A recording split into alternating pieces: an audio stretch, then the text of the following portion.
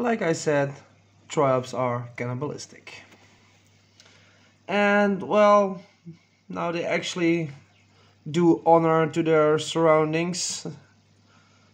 They actually are living inside their cannibal village right now.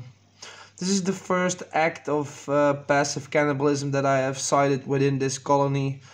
Um, this adult is right now eating a younger adult uh, that died due to a molting failure.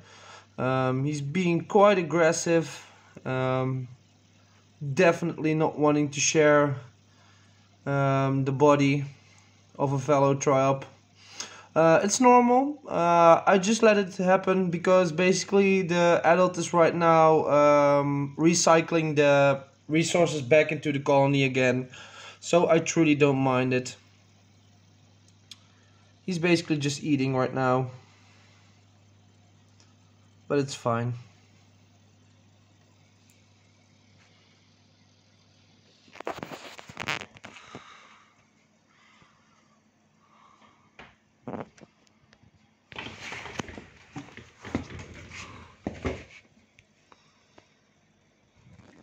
Oh, he lost the food.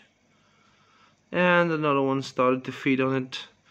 So that's the second one that engages into the passive cannibalism.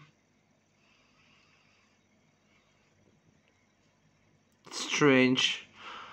But yeah, it's normal for them. This is their way of living.